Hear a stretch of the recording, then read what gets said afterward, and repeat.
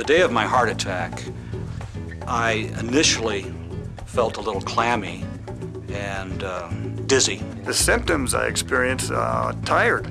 I mean, uh, uh, out of breath. I knew something was wrong because I couldn't walk straight, couldn't drive. I felt really, really tired.